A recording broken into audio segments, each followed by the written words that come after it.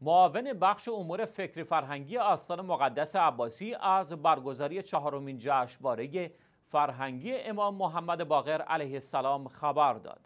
به گزارش پایگاه اطلاع رسانی آستان مقدس عباسی سید اخیر الیاسری با اعلام این خبر گفت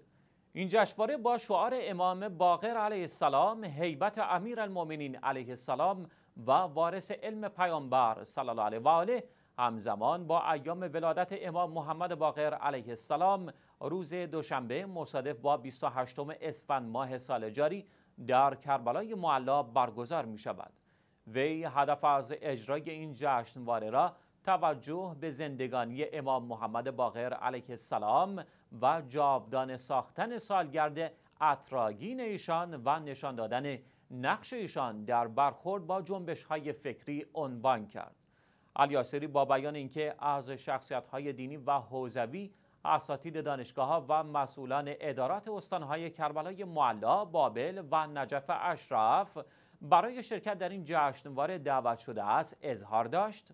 این جشنواره همزمان با ایام ولادت امام محمد باقر علیه السلام در ابتدای ماه رجب و به صورت نشست های پژوهشی حوزوی و آکادمیک در دو نوبت صبح و عصر تدارک دیده شده است. وی در پایان خاطر نشان کرد آستان مقدس عباسی در نظر دارد تا این جشنواره را در سالهای آینده به صورت بین المللی و با دعوت از اندیشمندان و پژوهشگران کشورهای مختلف